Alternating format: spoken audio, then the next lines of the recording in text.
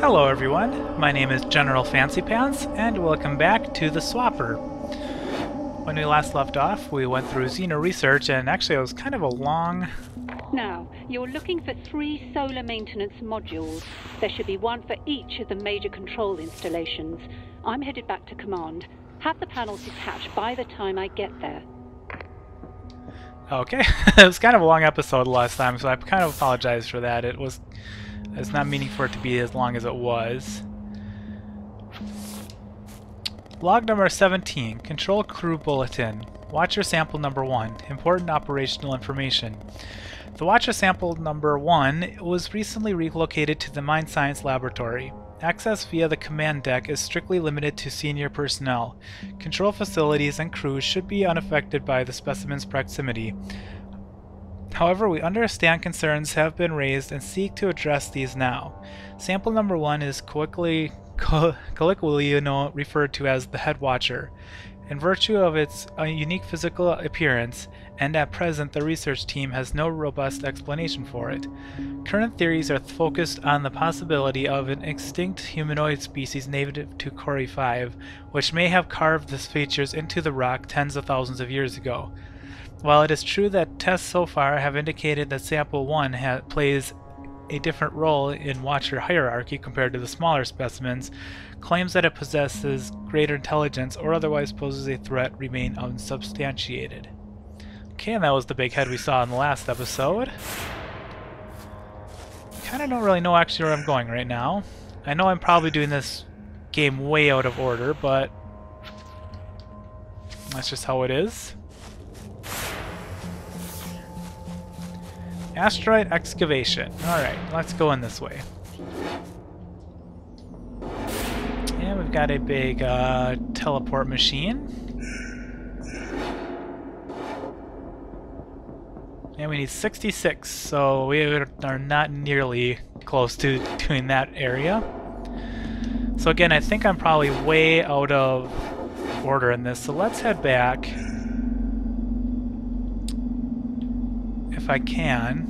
As you can see, the ship map uh, changes depending on how you're oriented within the ship. So right now I'm like oriented this way, so the ship map has turned the long way rather than horizontally. So it's kind of kind of interesting how it does that. It took me a little while to figure that out, actually, because I couldn't quite understand what it was, why I was doing, or why the map changed, or if I was even in the same spot anymore. I think what I'm going to do is actually I'm going to go back and do these teleport puzzles here. And uh, I think this is metaphysics is where this is going to take me.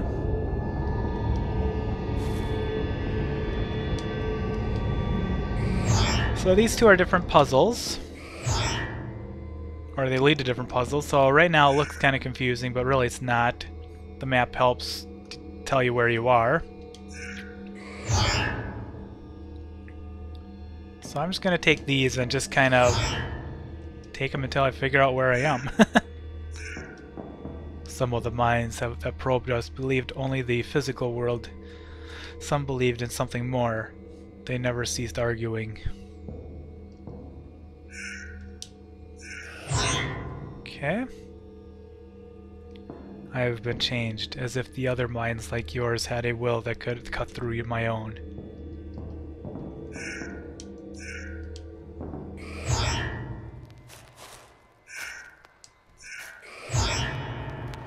Alright, here we go. Log number 14, memo. Some Watcher specimens are millions of years old, so it's fair to assume a high level of intellectual development. If they're telepathic as well, I think high, uh, if they're telepathic as well, I think Chori 5's indigenous species may be the universe's oldest, most powerful quantum computer, if we only knew the programming language. Okay. I suppose be given the uh, fact that they just are all one mind. I suppose that's why they think about that. There's another headstone, looks like, but not the head one. The other minds here are were always turning. They thought of the world as little as we do. Okay, so here's the one. This is what I was talking about before. These three are actually going to lead me to different puzzle rooms. So I'm going to do these. So this is the first one.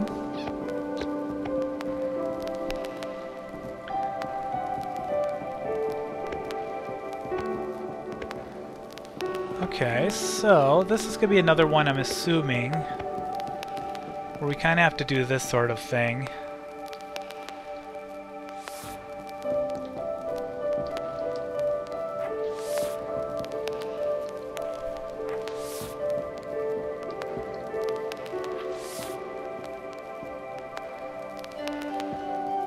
Think. Though now we're out of clones, so probably not. So let's try that again. So that one, we'll turn off that light. We can make a clone.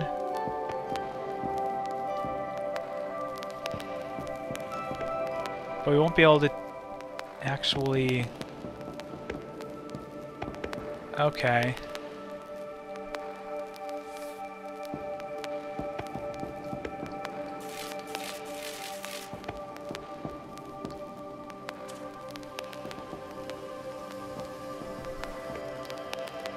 Yeah, we can't make a clone until that light is...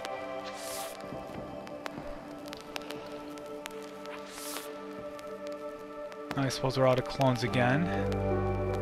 Yep. Huh.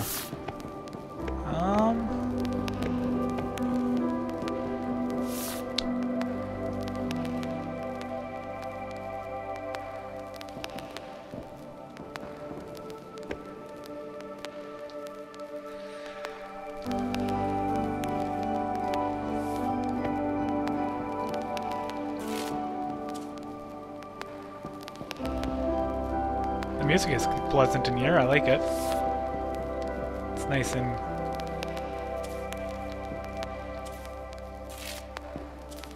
Nice and soothing.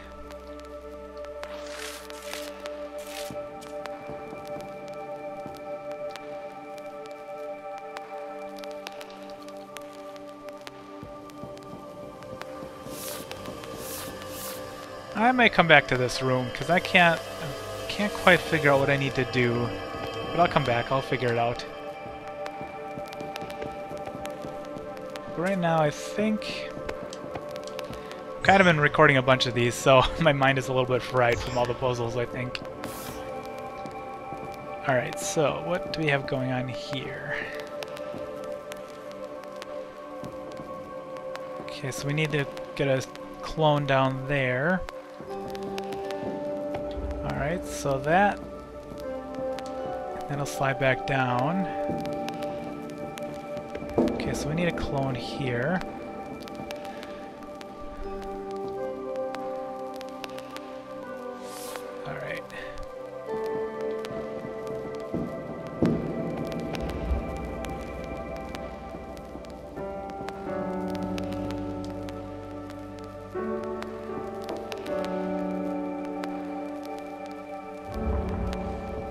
I see. Okay, yep.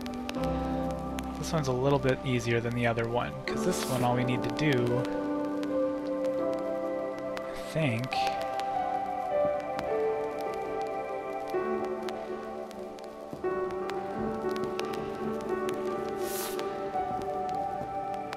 Oh, that works, okay. There.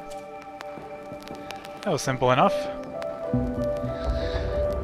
I think it's interesting how some of these puzzles are like seemingly really, really difficult, and then other ones are really not hard at all, actually. So, log 13. Okay, at least we're getting back and getting all these uh, older logs. Log number 13. Watcher Metaphysics. What do watchers know about the weather?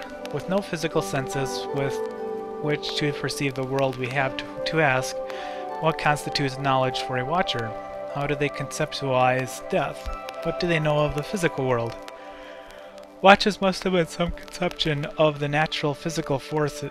Watchers must have some conception of the natural physical forces which cause them to move in and out of one another's detection range.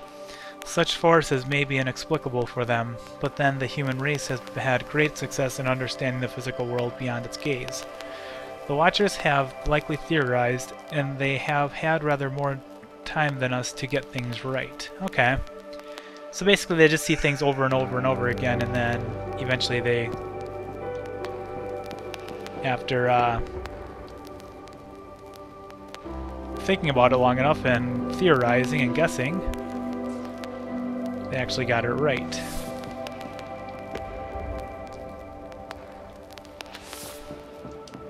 Okay. Guessing this is too far of a drop. Yep.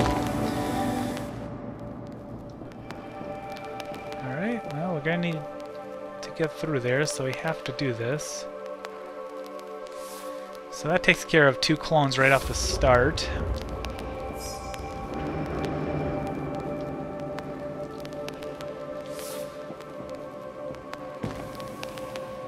Can I make that jump? I can. Alright, so we cannot count. No, we can't make a clone there.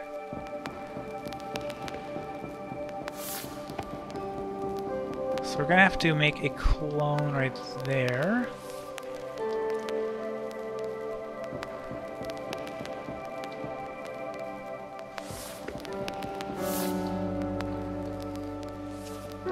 And we're out of clones.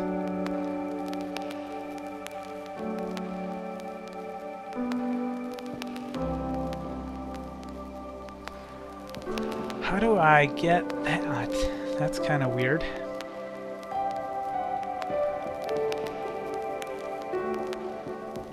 Okay, so maybe that's what I need to do. No, that wouldn't make any sense.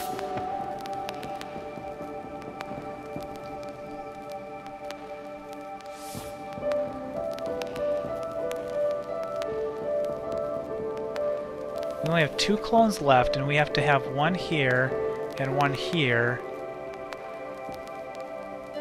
But really, we only need one there for any permanent Okay.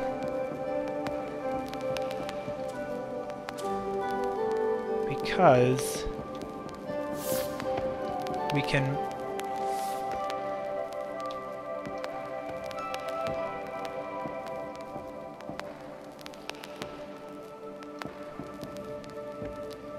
takes care of the last clone. Okay.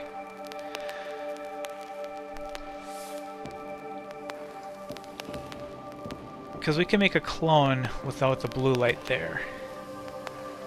And then we can work around the red one a little later when we actually figure things out.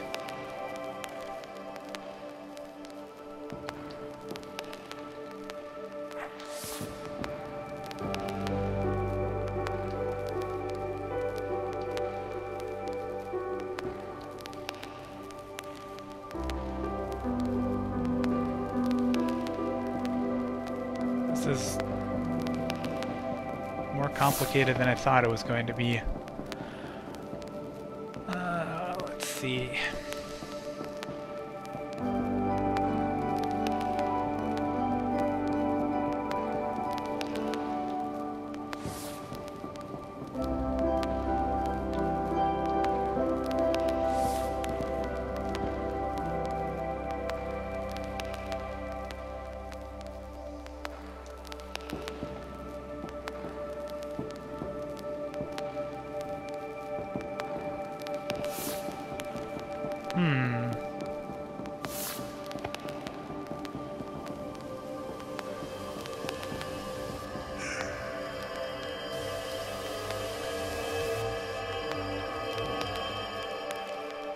I guess the uh, memory terminal reset after I died.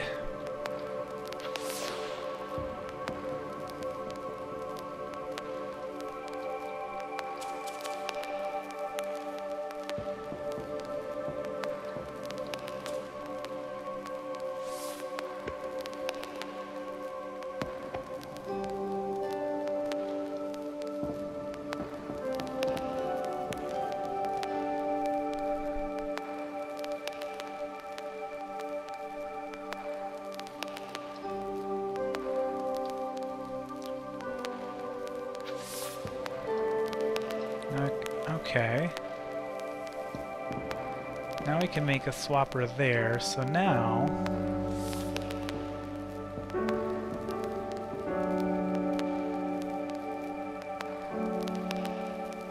We can't switch to him, which is kind of a...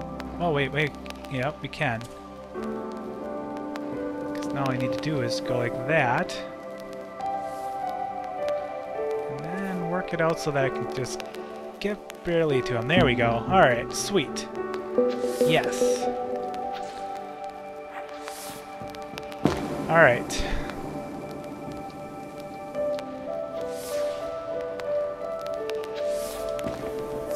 Alright, that takes care of that part, and we'll just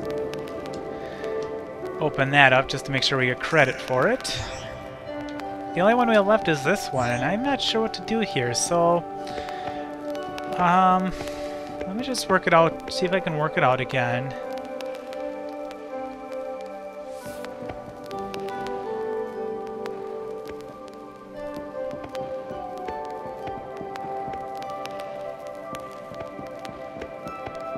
something similar to what we kind of just did, or have to do sometimes, where we make a bunch of clones.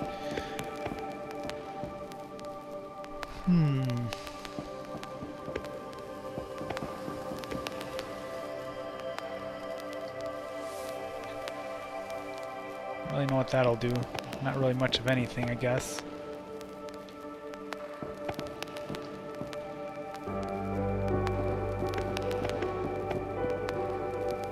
let me go off camera. I'm going to see if I can work this out, and then when I come back, I will get through it, and I'll show you guys how to get through this one, because I don't want to spend too much time just sitting here working it out for 45 minutes and making the... Because that's what we'll have to... Okay, we're going to need... That's what we're going to need to get to swap to him, is we're going to need someone right here.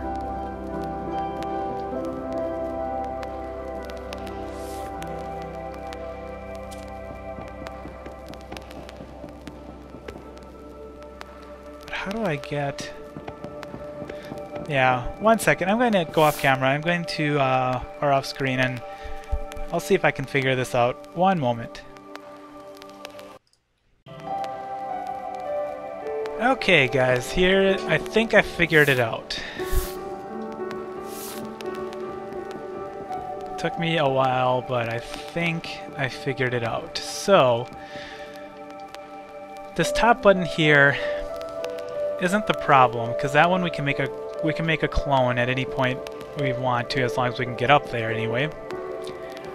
What we need to do is, this is the button that's really the problem down here, because we need that blue light off so we can make a clone up there. So what we need to do is get a guy back here by doing it this way. Which it seems like a lot of puzzles are actually done this way, and I'm not sure why they chose to do that, but... Okay, I thought it was all out of clones. And then what we can do is... Get all of our clones back. Swap to that guy. Make a clone on this button. And swap to that, and we got it. I think that takes care of the metaphysics lab.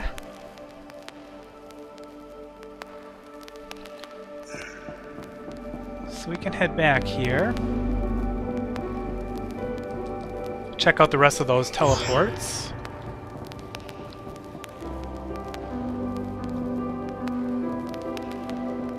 Man, that was a tough one. That took a long... That, that was one of the hardest ones I've come across, and I know that there's even harder ones, so... the way of for the thought of the passage of day is the way day for the thought of the passage of the way. Alright, whatever, man.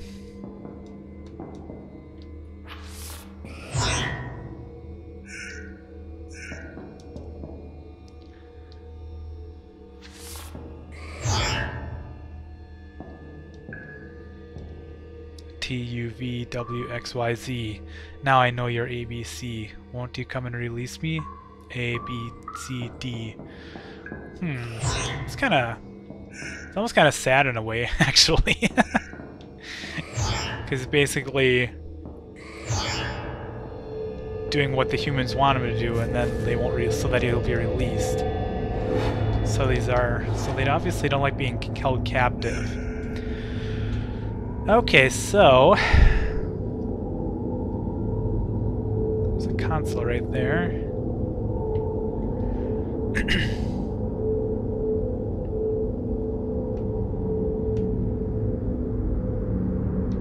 think this is the next spot, actually. Oh, no, it can't be.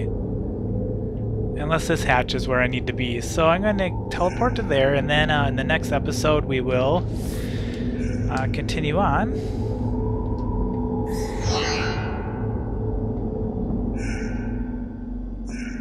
Our exploration. So, just get up here first.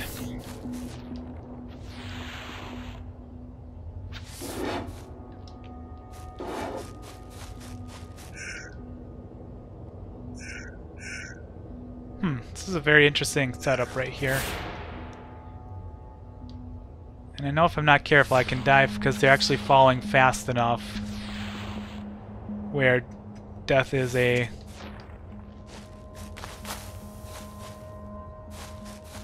is a possibility. So let's go into the no entry. Need 48 for that one, so we're missing something somewhere. I'm probably a little too far ahead, and I really should be actually right here. Doing this hatch right here. So, okay, but anyway, I'm gonna call it an episode right here. We'll fig I'll figure out what to go next, and then uh, in the next episode. So, I'll see you guys next time on the Swapper. Until then.